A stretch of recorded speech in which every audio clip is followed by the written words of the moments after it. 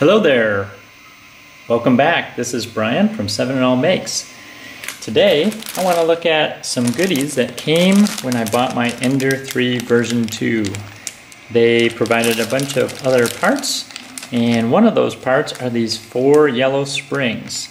The four yellow springs go under the plate here, the bed, and help it to level it. And the problem I've been having is if I get these three close enough and level, this corner over here is always a little bit different. If I bring this up, then these are too tight. So I know that the springs that are on the bed right now don't seem to work real well. So a lot of people have suggested the yellow springs, the stiffer springs, to use to bring the bed up and keep it more at the right height. But I have so many questions. Who is Ender? Are we talking about like Ender Wiggins from the movie? What does he have to do with it? Where did he come from? And why is it called a bed? I mean, I know what a bed is, and this doesn't seem like a bed.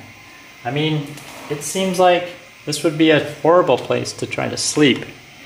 I don't think you'd get very good sleep at all trying to sleep on this bed. I think it'd be very, very uncomfortable. I think you would probably toss and turn as you tried to find a comfortable place it just doesn't seem like it would be comfortable at all to sleep on this. This does not seem like a bed, and it seems like a 3D printer is a very technical device. It's very scientific, it's very sophisticated. It seems like it needs a different name. So, I don't know, should we call this a table? Or what about platform? Uh, those seem like better names. What about, I don't know, surface? Or we could also call it a plate.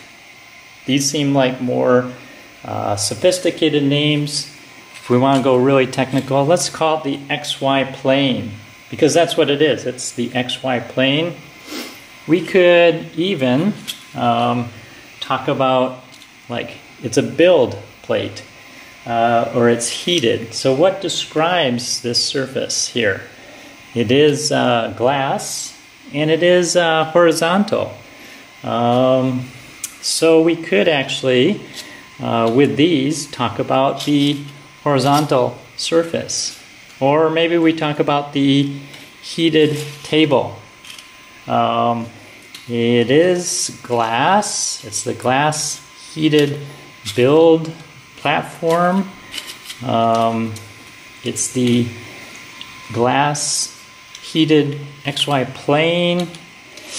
Hmm, we could make up a new acronym like the horizontal build plate. HBP. HBP. Horizontal build plate. Would that work? Oh, well, maybe. Maybe it is bed. So maybe BED is an acronym. BED, what would that stand for? Maybe, maybe this is the build extrusion deck. There we go. Okay, this is the build extrusion deck. Now we have a technical term that uh, works for this. Yep. Now when people talk about leveling their bed, their build extrusion deck, I've never seen them get out an actual level and put it on the surface to try to look at where the bubble is. Is the bubble in the center as you would do with a level? You would be looking at is the bubble right in the middle or do you have to raise a corner on one side or the other? So it has more to do with looking at how close the bed is to the bottom of the nozzle and making sure it's equally distant all the way around and it's typically only the width of a paper in between the top of the bed and the bottom of the nozzle. So let's work on changing out the springs for the bed today. All right, as we get ready to change out the springs, there's four springs. The first step will be to remove the clips that are holding the glass plate down to the heated aluminum plate underneath it. So if you have two clips, then just take off both of these clips and set them aside. Okay, once you have the clips removed that keep the glass down on the aluminum, then you'll want to remove the bed. Now beds are big and bulky, so get some help so you don't injure yourself.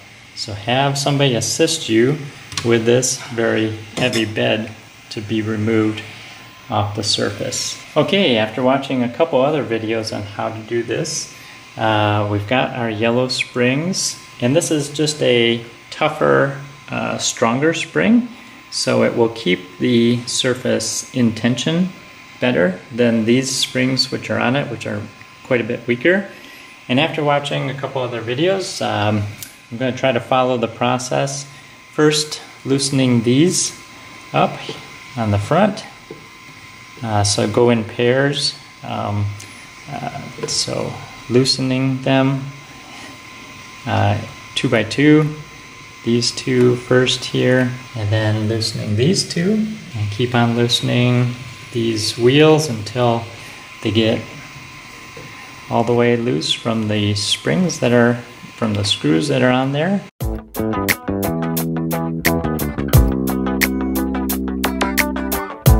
You'll have to hold the screw down as this part gets loose. Okay, then lift it up and you'll see the four springs. Here's three of them and then the fourth one is in the back underneath the little surface there. Be careful of this cable that's attached to it to heat up the bed. But all you have to do is take these springs out and place the yellow spring in its place.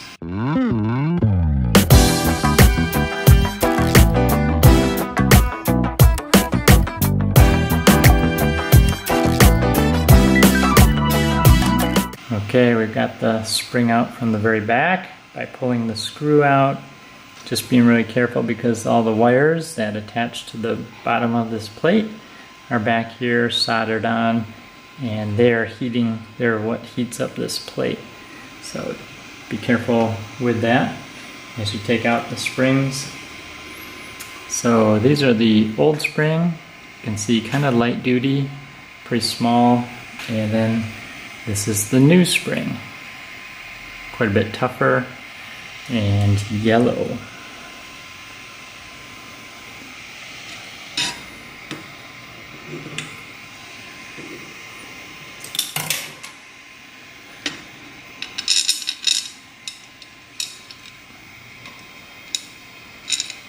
Okay, just drop the screws in through there and then bring the screws into alignment with the springs and set it down in place.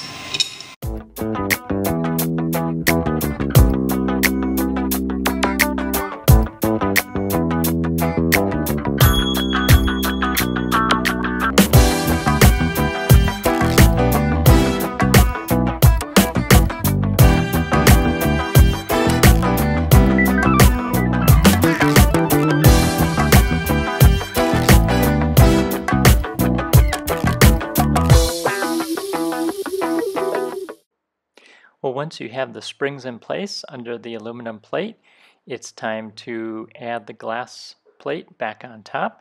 So carefully take that and align it correctly uh, so that it's uh, aligned on all the edges. And then place your clips back on it so that it's secured uh, between the glass plate and the aluminum plate.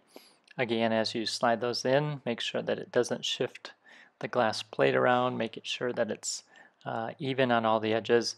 And then now it's time to manually level your bed or adjust it in height. And what you'll do is uh, click on Auto Home on the display and then disable the step motors. And then what I do is just go to the four corners and using a piece of paper adjust the height of the bed uh, up and down with the knobs so that the paper is just a snug in between the end of the nozzle and the top of the glass plate. Uh, you want it so that it's not sliding too freely, but uh, when it's uh, close enough, it will just buckle a little bit. And here I'm printing a test print from CHEP, and we'll put a link below for this. This is uh, large squares down to small squares, and just allows you to see how it's printing out and how level the bed is. Well, if you learned something in this video, please give us a like. And if you'd like to see more videos like this, please subscribe and hit the bell to be notified. We appreciate your support. Thanks a lot for watching. Have a great day and happy modding on your 3D printer.